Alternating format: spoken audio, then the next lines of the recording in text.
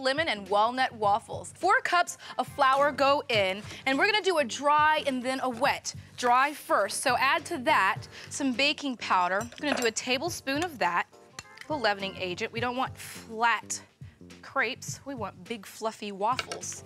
And then to that, I'm gonna add a couple of tablespoons of sugar.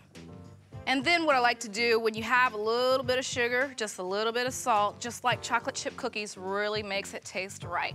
So a teaspoon of salt goes in. And all you wanna do is just go ahead and kind of sift this into your bowl here. A lot of bowl usage, but it's really smart to do the dry and the wet separately. This was my favorite part as well.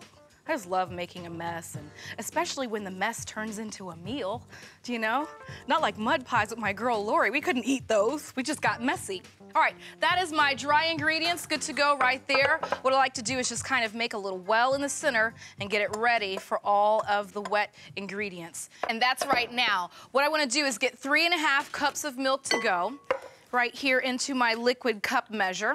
Bring my little bowl up here and get it ready for all the love. Let me tell you, I really truly do love waffles in all their forms. Look at me making a mess here. That's two cups of milk.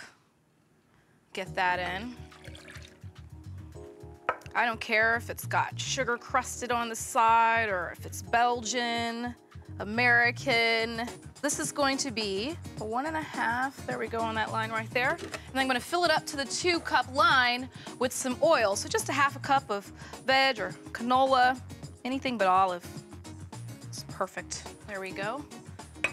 This is gonna make the perfect waffles now. I know I told you, boy, those days growing up and pulling those pages apart from the cookbook to make the waffles are long gone. I've kind of updated this for my adult palate and made uh, the waffles sing with a little bit of lemon extract. And then just to kind of add to what I did with the lemon extract, I'm gonna throw in the zest of a lemon as well. Just really brings this up. I mean, we're having this with chicken, which is something savory, so it's nice to kind of match it with something that's nice and light and zippy. And uh, let me tell you, if you've never had lemon zest and lemon extract in your waffles, you gotta give it a try. Great in pancakes as well. I kind of love having things in the refrigerator and finding other uses for them. All right, this is good to go. Just gonna whisk this up, and all I need now are my eggs. All right, final egg of six. Just do a little seesaw action right here. No need for gadgets. Really love this part. I don't know why, just something about it. Just separating them and getting them all good to go. All right, six yolks, and that's all I need to get into the wet before I get all the wet into the dry. There we go. In the bowl. Big whisk for a big job.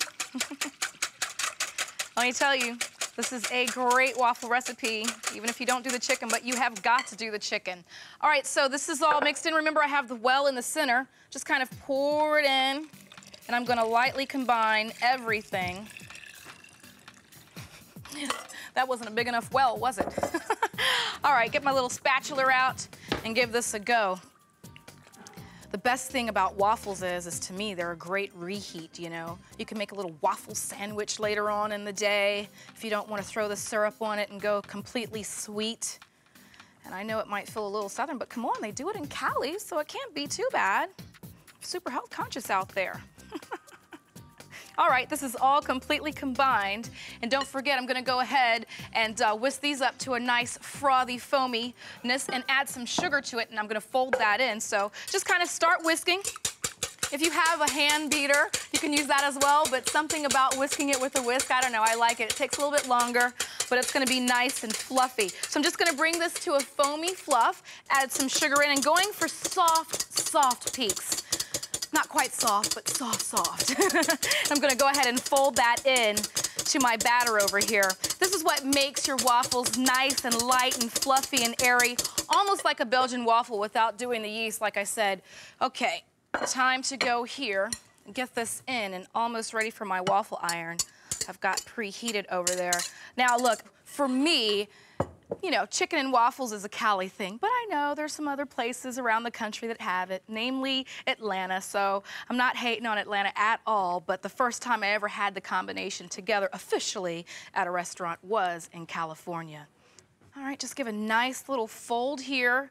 You want to be gentle. You don't want to kind of ruin all of your nice, lovely, light frothiness that you've worked for with your whites. Just kind of bring it down around the bottom and bring it up over the top, and you'll be good to go in about mm, 10, 15 swipes or so. Depends on how big your spatula is. All right, so completely folded in. Now these are lemon and walnut waffles, but I don't like to add the walnuts actually into the batter. I like to add them onto the waffle iron because if you add them to the batter, they're gonna sink to the bottom and you don't get enough even distribution of your walnut. All right, preheated waffle iron here, a little cooking spray goes down, and I'm just gonna ladle it in.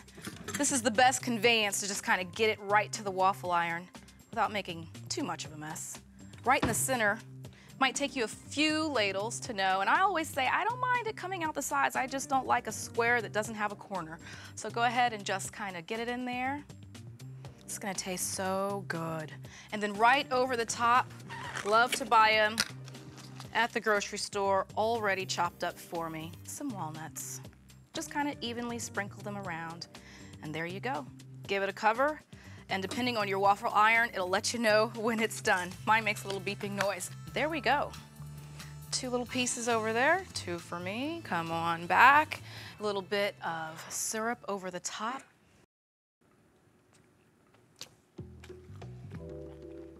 Give this a try. You're gonna know why I sat and I did breakfast and lunch in the same restaurant